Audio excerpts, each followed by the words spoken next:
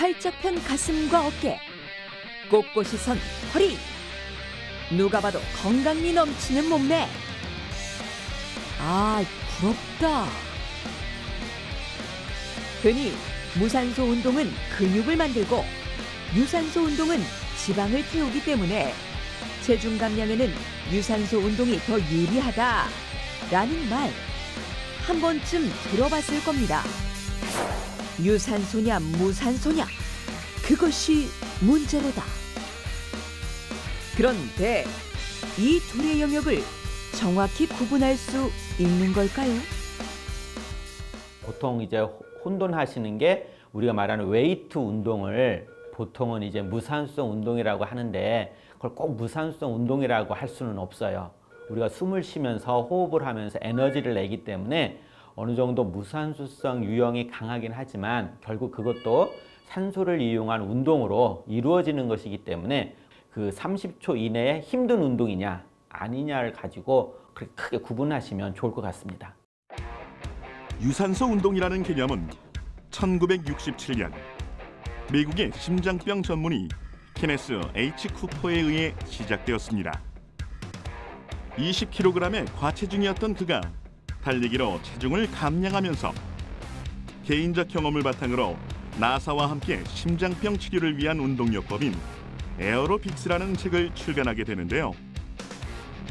에어로빅스란 산소 호흡을 늘리는 운동법이라는 뜻으로 대표적인 프로그램이 12분 달리기 테스트입니다.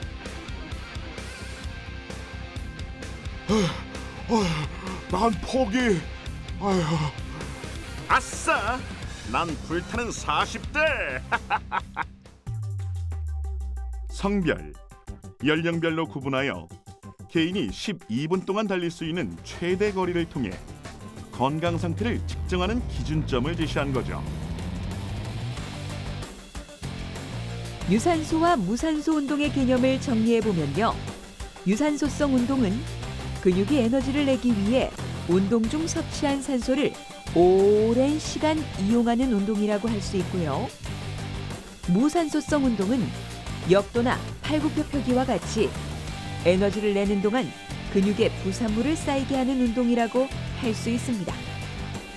길어야 2분에서 3분 정도밖에 지속할 수 없는 단시간 운동들은 몸에서 급히 에너지가 필요하기 때문에 산소와 결합하지 않아도 에너지 전환이 가능한 탄수화물을 에너지원으로 우선 쓰게 되는 거죠.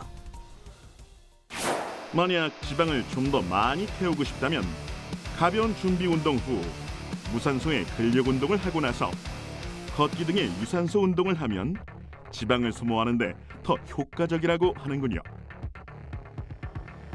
해야 할 운동도 하고 싶은 운동도 많지만 어떤 운동을 하든 효과를 제대로 얻기 위해선 기초 체력이 중요합니다.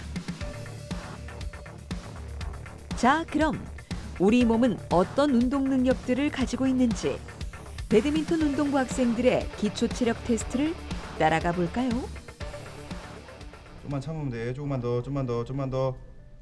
아이고 보기만 해도 숨이 차네요. 오, 그대로 유지, 그대로. 오랜 시간 이어지는 그렇지, 운동에도 물고 있어, 그대로 물고 있어, 호흡 기관이 얼마나 더. 견딜 수 있는지 더. 알아보는. 심폐지구력 자, 테스트. 물고 세게. 후. 심폐지구력이 향상되면 피로에 대한 더. 저항력이 높아져 운동을 더 오래 즐길 수 있고요. 근육이 수축할 때 발휘하는 최대 힘을 알아보는 근력 테스트에는 팔의 근력을 측정하는 악력과 등쪽 근육의 힘을 이용한 배근력 테스트가 이루어지는데요. 배근력은 바른 자세를 유지하는 데 중요한 역할을 담당하며 배근력이 좋아지면 달리기, 던지기 등의 운동 능력도 높일 수 있다고 합니다. 남들과 똑같이 운동을 했는데도 유독 피로를 잘 느낀다면 근지구력을 강화해야 합니다. 근육이 일정한 속도와 강도의 운동을 얼마만큼 지속할 수 있는지 윗몸 일으키기로 알아볼 수 있는데요. 근지구력을 강화하는 데는 수영이나 달리기가 좋다고 하고요. 이번엔 짧은 순간에도 큰 힘을 발휘할 수 있는 순발력입니다. 높이 뛰기와 멀리 뛰기를 통해 근육의 순간적인 수축 강도를 측정하는데요. 축구 선수들의 빠른 패스와 스피드, 재빠르게 동작을 바꾸는 능력들도 바로 근파워에서 비롯됩니다. 때문에 실제 훈련에서도 근력과 스피드에 초점을 둔 동작들이 많이 실시되고 있는데요. 개구리가 뛰듯이 순간적으로 점프. 하체 근력 발달에도 짱이라고 하는군요. 공을 향하는 시선, 정확한 스윙과 빠른 스텝. 0.4초 만에 날아오는 공의 이동 경로를 파악해 배트를 휘둘러 맞추는 것은 한 가지 능력으론 이루어질 수 없습니다. 그러나 스윙에 결정적으로 미치는 영향이 눈과 손의 협응력이라고 할 수 있는데요. 협응력이란 시각으로 인식한 정보를 순식간에 신체 동작으로 옮기는 능력을 말하며 협응력이 높을수록 상황 대처를 요구하는 스포츠나 게임 등에 강하다고 합니다. 운동의 종류도 중요하지만 기초 체력이 탄탄하면 더 많은 운동을 제대로 즐길 수 있다는 사실을 기억하세요.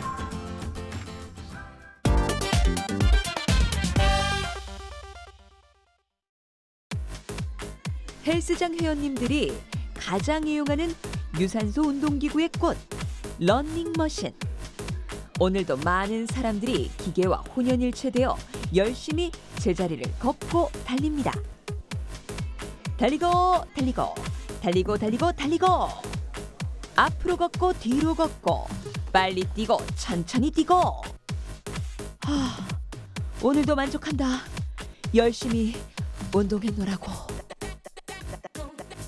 런닝머신이라 불리는 트레이드 밀은 오늘날 전 세계적으로 사랑받는 운동기구이지만 그 시초는 1800년대 영국에서 죄수들을 처벌하기 위해 고안한 노동기구였습니다. 당시 수감자들은 수감 생활 동안 고된 노동을 의무적으로 해야 했는데요. 이를 위해 기술자였던 윌리엄 큐빗이 죄수들이 원통위로 올라가 바퀴를 돌리면 그 동력으로 곡식을 바퀴되는 트레이드밀을 만들게 됩니다. 그러나 이 기구는 하루 6시간씩 매일 에베레스트 산을 오르는 것과 같은 끔찍한 고통을 안겨주면서 고문기구라 불릴 정도였다고 하는데요. 이후 1950년대 심장과 폐 질환을 진단하는 의료기기로 재탄생하게 됩니다. 20여 년 후 앞서 보았던 쿠퍼 박사의 에어로빅스 책이 이슈가 되면서 미국의 조깅 열풍과 함께 트레드밀이 세계적으로 보급되기 시작한 것입니다. 아 그리고 우리의 고통도 함께 시작되었죠. 내가 전생에 영국의 죄수였던 거야. 아유. 트레이드 밀은 맞춰놓은 속도에 따라 레일이 계속해서 돌아가기 때문에 기구에서 떨어지지 않기 위해 그 속도에 맞춰 열심히 움직여야 합니다. 단 단점이 있다면 벨트가 자동으로 돌기 때문에 지면을 걸을 때보다 하체 근육이 적게 사용된다는 것. 그리고 잠시 한눈을 팔면 아이고 아 너무 아프겠다. 이 두 가지의 단점을 모두 해결한 주인공 무동력 트레이드밀입니다. 이야 정말 힘들어 보이네요. 전기 에너지 대신 사용자가 직접 벨트를 밀어내야 하기 때문에 당연히 힘이 들 수밖에요. 일반적인 트레드밀처럼 10분, 20분 이렇게 장시간 트레이닝을 하는 게 아니라 단위별로 10초 운동과 또 10초 휴식, 또 20초 운동과 10초 휴식 이런 식으로 어, 라운드별로 이렇게 세트를 끊어서 운동을 시키는 이런 인터벌 트레이닝 같은 경우에는 불완전한 휴식을 주고 또 트레이닝을 강도 높은 트레이닝을 주고 불완전 휴식과 강도 높은 트레이닝을 주는 거기 때문에 어떤 전신 지구력과 파워를 갖다가 동시에 높일 수 있는 그런 트레, 어, 그런 효과를 가지고 온다고 보시면 되겠습니다. 인터벌 운동은 1시간 동안 같은 속도로 달린 것보다 에너지 소비가 1.5배 더 많고 기초 대사율을 높이는데도 유리하다고 하는군요. 걷기나 달리기, 인터벌까지 좋은 운동이라는 건 알지만 신체 조건상 무리한 운동을 할 수 없는 상황이라면 이번엔 무동력이 아닌 무중력의 몸을 맡겨보겠습니다. 미국 항공우주국 나사에서 개발한 중력 조절 보행 시스템을 이용하여 개인의 체중을 최대 80%까지 줄인 상태로 보행 운동을 할 수 있게 한 무중력 트레이드밀인데요. 최대 몸무게는 180kg까지 오케이. 특히 관절 부상을 입은 스포츠 선수들이나 수술 후 재활 치료에 활약하고 있습니다.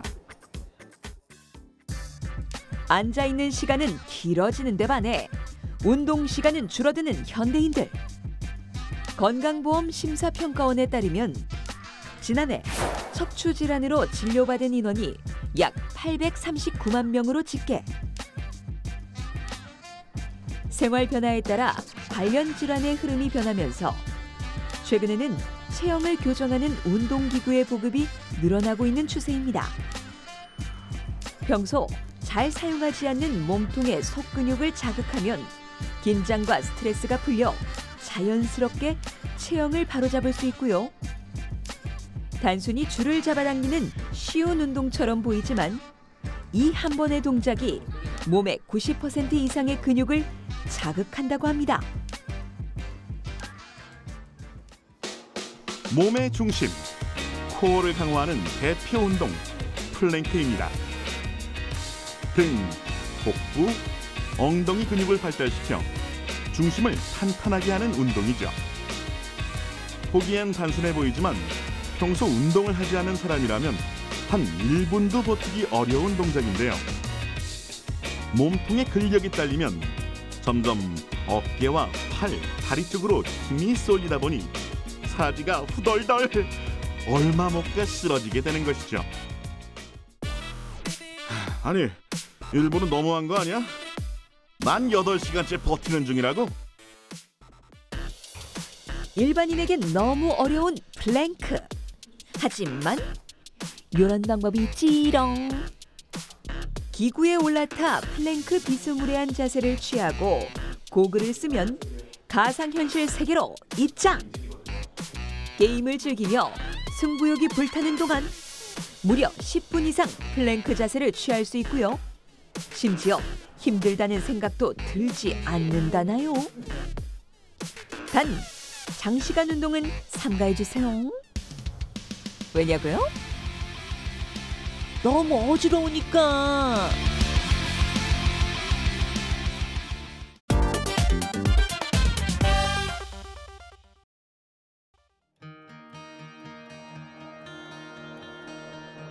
제잘거리던 아이들의 소리가 사라진 놀이터.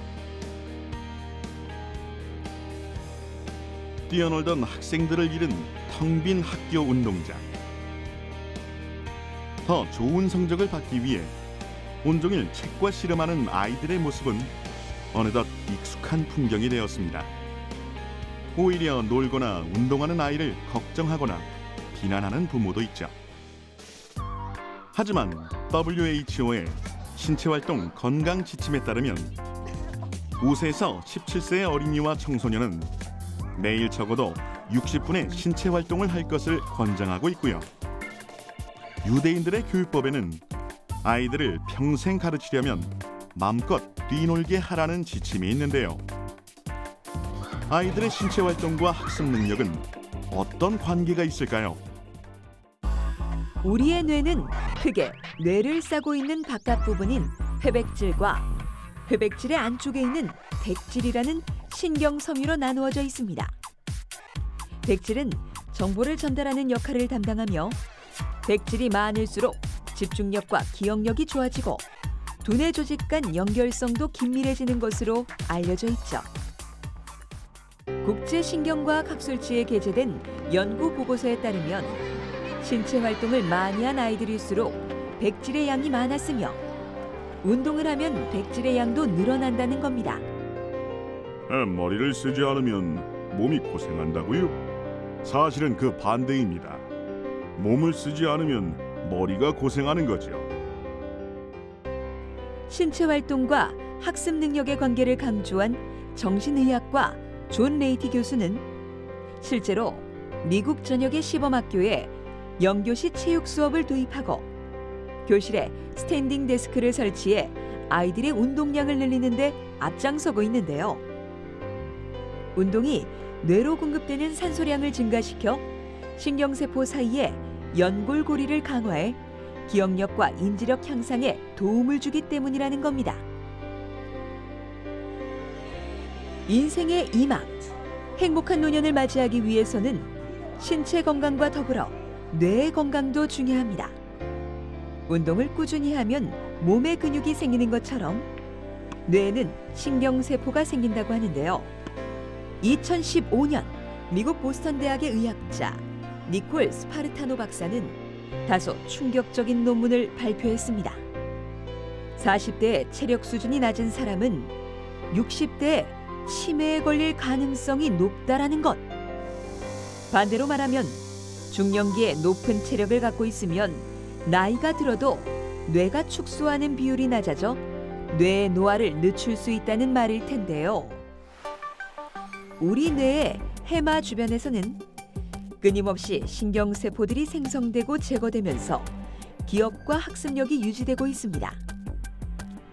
노화에 의해 점차 세포수가 감소하면 기억력도 떨어지게 되고요.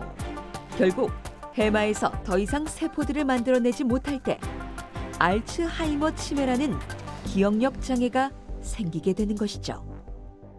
신경세포가 죽는 거는 여러 가지 패턴이 있습니다. 근데 산소가 공급이 안 돼서 자체적으로 괴살해서 죽는 경우가 있고요.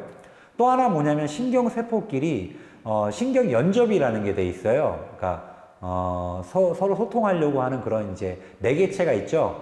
그러면은 뭐 예를 들어서 그런 뇌세포가 하나 죽었을 때 서로 정보를 주고받아야 되는데 그렇지 못해서 옆에 있는 또 세포가 죽거나 또 기능적인 퇴화가 이루어지거나 이런 것들이 또 치매거든요.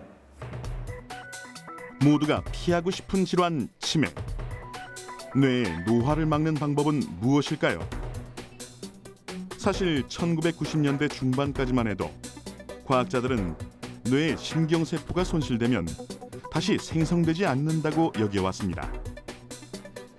그러나 첨단 촬영 장치, 동물 실험 등을 통해 뇌 특정 부위 신경세포가 운동을 통해 쉽게 생성된다는 사실을 알게 되었고요. 연구 결과에 따르면 같은 노년에서도 운동을 하는 사람일수록 상대적으로 해마의 부피가 컸으며 이것은 세포 생성이 꾸준히 이루어지고 있음을 의미한다고 합니다. 어떤 신경세포 하나가 일을 하지 않고 여러 개의 신경세포들이 일을 하고 있기 때문에 아직은 사실 우리가 당연히 생각하는 어떤 뇌의 어떤 기억이나 감정, 운동 여러 기능들도 여러 신경세포들이 같이 활성화가 되면서 어떤 네트워크로 일을 하고 있- 있는 거죠. 최근에도 나온 연구 결과들을 보면은 그러니까 전 세계적으로 볼 때 치매를 예방하기 위해서 1차 예방하기 위해서 가장 중요한 것은 특히 선진국은 운동입니다. 운동 부족이 치매에서는 가장 조절 가능한 위험 인자로 알려져 있습니다. 그래서 한 4, 50대 때부터 충분히 그거를 준비해야지 노년기에 치매를 줄수 있기 때문에 그게 일반인들 그러니까 정말 4, 50대 젊은 분들도 그런 운동을 하는 것이 치매 예방에 중요합니다. 남은 생애 동안 뇌가 젊은 상태로 있을지 늙어갈지 노후의 운명은 당신의 마음가짐과 실천에 달렸다는 것 몸을 움직이면 생각도 움직입니다.